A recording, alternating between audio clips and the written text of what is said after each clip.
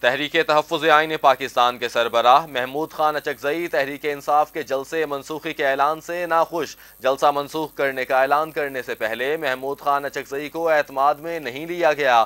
محمود خان اچکزئی نے اتحادی جماعتوں کا ہنگامی اجلاس طلب کر لیا۔ اتحادی جماعتوں کا اجلاس آج ہوگا۔ ہنگامی اجلاس میں پی ٹی آئی کو شرکت کی دعوت نہیں دی گئی۔ واضح رہے کہ این او سی منسوخی اور اسلام آباد میں مذہبی جماعت کے اجتماع کے باعث تحریک انصاف نے جلسہ ملتوی کرنے کا اعلان کیا۔ دوسری جانب ڈپٹی کمشنر اسلام آباد نے تحریک انصاف کو اسلام آباد میں آٹھ ستمبر کو جلسہ کرنے کا نوٹیفیکیشن بھی جاری کر دیا ہے۔ یاد رہے کہ چیئرمین تحریک انصاف بیرسٹر گوہر نے کہا تھا کہ اسلام آباد میں جلسہ عمران خان کے حکم پر ملتوی کیا گیا۔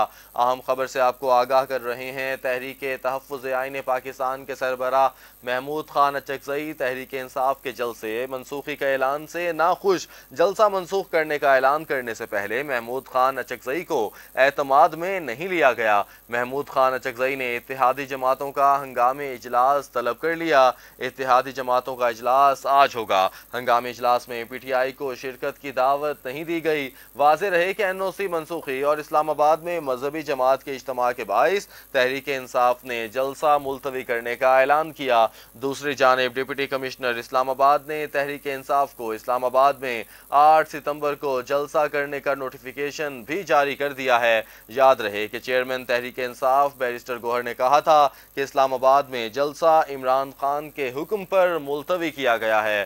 عام خبر سے آپ کو آگاہ کر رہے ہیں، تحریک تحفظ آئین پاکستان کے سربراہ محمود خان اچکزئی تحریک انصاف کے جلسے منسوخی کے اعلان سے ناخوش۔ جلسہ منسوخی کرنے کا اعلان سے پہلے عمران خان کو محمود خان اچکزئی کو اعتماد میں لینا چاہیے تھا۔ محمود خان اچکزئی نے اتحادی جماعتوں کا ہنگامی اجلاس طلب کر لیا۔